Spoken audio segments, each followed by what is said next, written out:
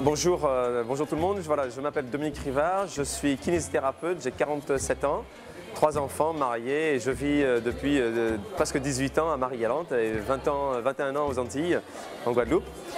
Mon parcours est un petit peu atypique, j'ai donc un parcours depuis mon enfance où j'ai touché un petit peu à la voile avec, avec mon, mon père, puisqu'il avait un petit bateau.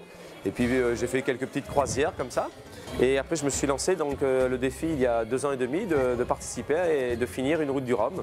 La route du Rhum, bien sûr, j'ai dit que ce n'était pas pour moi au départ. Hein. Il a fallu réfléchir longuement euh, euh, au niveau, surtout avec la famille et financièrement. Hein. Et du coup, j'ai pu voir que ça pouvait passer.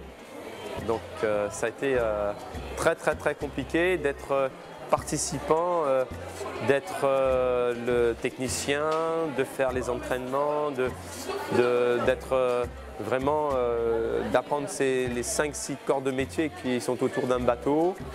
je ne connaissais pas, je ne savais pas. Je me suis vraiment investi énormément dans, ce, dans cette aventure. Pour attaquer, pour faire quel que soit le sport, je, peux donner un, conseil, c'est la persévérance et de l'entraînement. Il ne s'agit pas de dire je vais faire euh, une compétition si on n'est pas entraîné.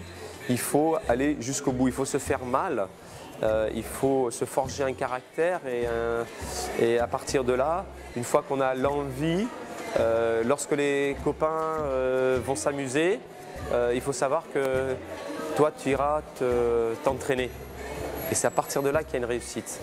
Il ne faut, pas faut pas se diversifier, c'est comme pour les études, c'est comme pour à chaque fois qu'on veut un objectif, il faut vraiment se donner à fond et se donner vraiment des coups de pied aux fesses pour pouvoir avancer et garder euh, la, tête euh, bien droite.